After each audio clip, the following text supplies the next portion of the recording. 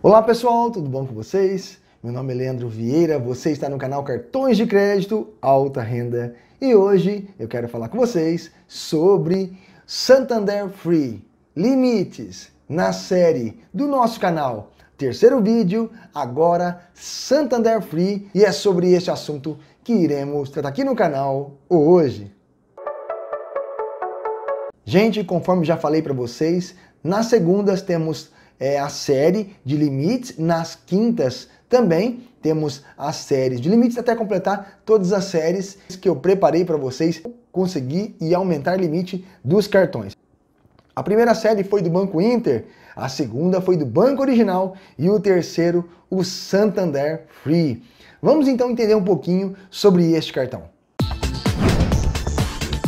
Este cartão ele é sem anuidade desde que você gaste 100 reais por mês no fechamento da fatura. Exemplo, gastei 500 reais em cinco parcelas de 100 reais por mês. Fechou a fatura 100 reais, você não paga naquele mês a anuidade que é de R$ 29,90.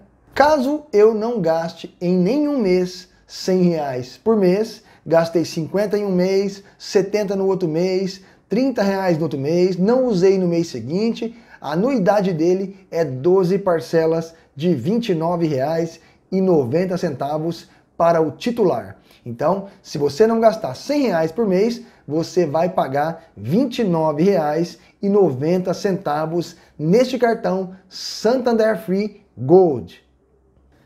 Tenho aqui a versão Visa e Mastercard, porém o Visa não está sendo mais é, emitido, só quem tem o cartão continua e a nova versão agora é o Mastercard, esse vermelho que vocês estão vendo na tela do vídeo, o Mastercard Free e Gold, tá? Ele é a variante Gold da Mastercard, tá certo? O adicional é 12 parcelas de R$ 14,95 e os benefícios que eu falei de gastar 100 reais por mês estende-se também para os cinco adicionais que você pode ter no cartão, tá? Então você pode ter até cinco adicionais e os benefícios estendem também para os adicionais. Se você gastar 100 reais, é, 50 reais no adicional, 50 reais no titular, fechou a fatura 100 reais, você não paga anuidade nem no adicional, nem no titular, tá certo?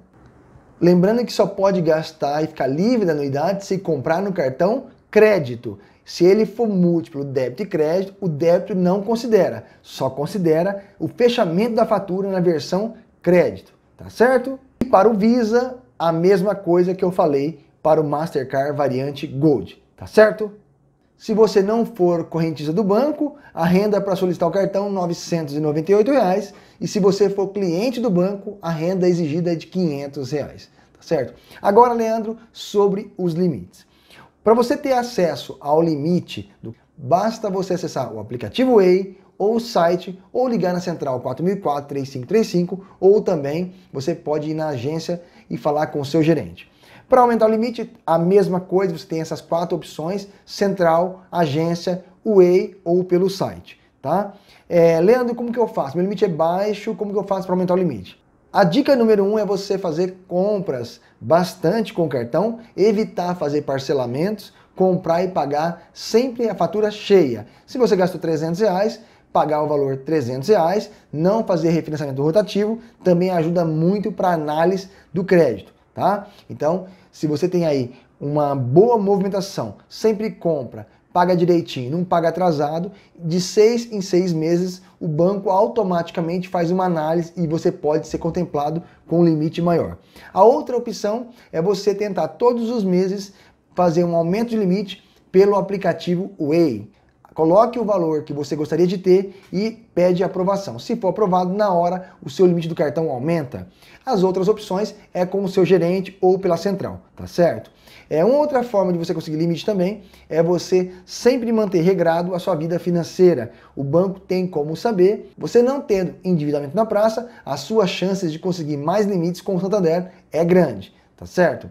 Quando fala que você tem direito até 5 adicionais, tome cuidado ao dar os adicionais para as pessoas que você quer dar. Por quê? Porque você dá para um irmão, dá para um primo, dá para um tio, e aí essas pessoas é, tem o seu cartão adicional, começa a comprar, comprar, comprar, e na hora de pagar não tem dinheiro para pagar, sobra tudo para você, você também não tem dinheiro para pagar, acontece o quê? Você paga atrasado. Pagando atrasado, a sua chance de conseguir aumento de limite se torna pequeno, tá? Então, tome cuidado ao dar cartões adicionais também para qualquer pessoa ou para pessoas que você acha que não tem certeza que vai manter regrado a sua vida financeira. Uma porque o cartão adicional, ele nada mais é que o seu cartão titular na mão de uma outra pessoa com um nome diferente, tá? É, Leandro, eu dando um cartão adicional para pessoa e ela pagando direitinho, o score dela aumenta ou o meu que aumenta? É o seu que aumenta, o titular. É quando fecha a fatura, o banco informa o Banco Central, então o Banco Central sabe que o titular tem uma dívida ou não tem dívida.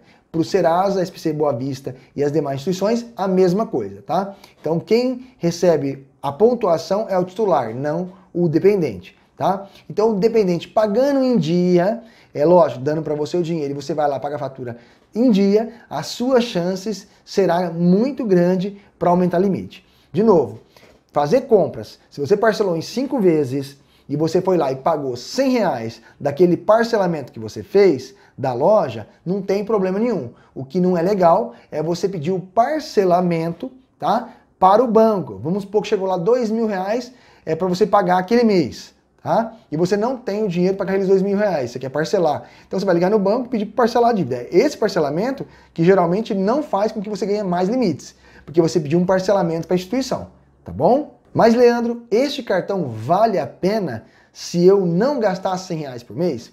Vamos lá. Eles são cartões da variante Gold. O Gold, como o Visa agora é, ele não está sendo emitido, vamos falar do Mastercard. O Mastercard ele tem bons benefícios na variante Gold. Então, você tem aí um cartão internacional, Gold, é sem anuidade, desde que você gaste 100 reais por mês. Porém, este cartão não faz mais parte de nenhum programa de recompensas do Santander. Ou seja, o Santander Esfera, onde você comprava a cada 5 é, reais, você ganhava um ponto, não tem mais isso. Então você não tem mais pontos no programa Esfera. Ele é um cartão internacional Gold sem pontuação no programa de pontos do Santander. Então funciona desta forma. Mas Leandro, vale a pena esse cartão Santander Free? Vale a pena desde que você gaste 100 reais por mês e você não liga para os programas de pontos que o cartão é, oferece. No caso, este não oferece mais, somente aqueles clientes antigos que continuam com o programa. Esses novos clientes não têm mais o programa Esfera. Certo? Agora, se você também levar um comprovante de renda, atualizar seus dados no Santander On, tá? No Santander On, ou você levar seus dados na agência e com o seu gerente você atualizar os dados, a renda, é possível que você consiga aumento de limite. Lembrando que o rating interno do banco também é considerado. Então, se você tem de 0 a 6, geralmente o banco não tem autonomia nestes casos. E de 7 a 9, o gerente ele tem autonomia praticamente no sistema automático para conseguir a liberação para você de mais limites ou produtos mais com o banco. Tá certo? Eu espero que vocês então tenham conseguido entender a forma de conseguir limites com o cartão Santander Free na série do nosso canal. Vamos para os abraços então? Abraço, meu amigo Rodrigo dos Santos, um abraço. Cláudio Honor, um abraço para você também. A galera da Bahia.